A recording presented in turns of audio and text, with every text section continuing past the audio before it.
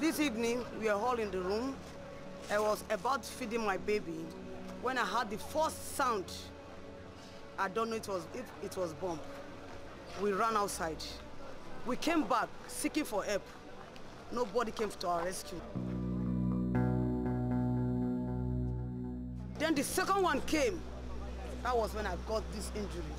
My baby off. If not for this particular man, Fandy Fraj. Today, I could have been crying for my child.